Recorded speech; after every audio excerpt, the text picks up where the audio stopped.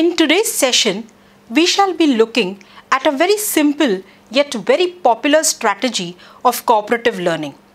The strategy is called as Think, Pair, Share. The content is Introduction, Steps for Think, Pair, Share strategy, Prerequisites for Think, Pair, Share strategy, Advantages of Think, Pair, Share strategy and Limitations of Think, Pair, Share strategy. At the end of this session, you will be able to explain what is Think, Pair, Share strategy, comment on prerequisites for the Think, Pair, Share strategy, list out the advantages and discuss the limitations of Think, Pair, Share strategy. Think, Pair, Share strategy of cooperative learning is a very simple strategy that can be used by a facilitator at all levels of teaching.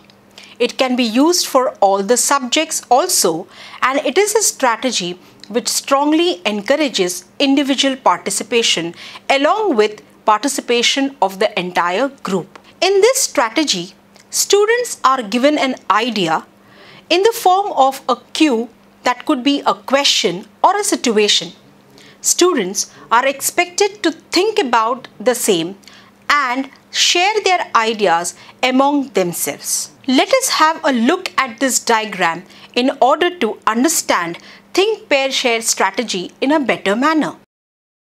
Think Pair Share strategy functions in three distinct steps. The first step is think. At this stage, the teacher poses a question or she may present a situation which requires the individual to reflect on it individually. At this junction, the teacher can also provide material for the students to read or to observe. Individuals are expected to read this individually and reflect upon and ponder upon and jot down whatever is felt by them with respect to the stimulus provided to them. The second step is that of pair. After having thought individually, the students pair up with someone sitting next to them. Every member of the pair shares whatever they have thought with each other.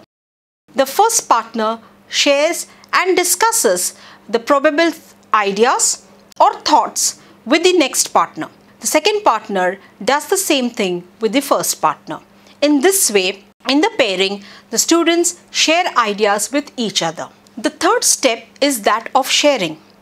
The pairs who have shared the ideas with each other now shares their collective thoughts with other pairs sitting next to them. Once this sharing within the pairs is over, the teacher can put all the students together and the sharing then happens with the large group. In this way, in a step-by-step -step manner, an individual's ideas are put forth the entire group. Before introducing the think, pair, share strategy, the teacher must keep some pointers in mind.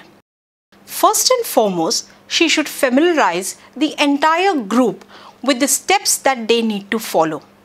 Also, she needs to provide with the learning material to the students so that the students can indulge in individual thinking sharing with pairs and then sharing with the entire group. The teacher should also formulate questions as cues for the students to think in a particular direction. In order to ensure the effectiveness of think, pair and share strategy, the teacher can put on the board or on a chart paper or display the specific steps of the strategy so that the students follow the strategy in a systematic manner. She may also provide time limit for each of the steps so that the students can effectively organize themselves and complete the task within the specified time.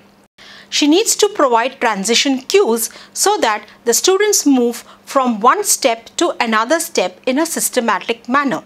In this way, the teacher can ensure that the entire class functions together works together and moves through the steps of the technique in an effective way so that the learning goal can be achieved by each and every member of the class. The teacher can also specify the evaluation criteria. in the beginning of the session itself. This will enable the students individually as well as in pairs as well as together in group to visualize and think how they need to perform in order to ensure the achievement of their goals in a successful manner. Think, pair, share is a very popular strategy. At the same time, it's a very simple strategy and has several advantages such as think, pair, share or as it is popularly called as TPS engages all students from the classroom. Quieter students get an opportunity to voice their opinion. Misconceptions of students can be rectified immediately. It encourages and supports higher levels of thinking. Think, pair and share strategy thus ensures that participation is both at the individual level as well as at the group level. But at the same time, there are some limitations of this strategy. Since the strategy involves sharing of ideas listening to each other, at times it may happen that the classroom can be noisy. But let us remember that this strategy is based upon social dialogue. It's only by talking to each other related to the task that is given one learns from each other. There could also be a chaos as students are involved in exchanging of information with each other. Also, there has to be some sort of time limit provided for each of these steps. At times, if the task is huge, it might create a time pressure on some of the students who might take longer time to process the information. So, think, pair and share strategy can be effectively and very easily used by any teacher at any level. This also does not require too much of reorganization of the classroom furniture. Also, Think, Pair and Share strategy has an extension in the form of Think, Pair and Square. So instead of having two students working together, one could have four students working together in a square. So we find that the thinking, the pairing can happen in a square and then the sharing could happen with the entire group.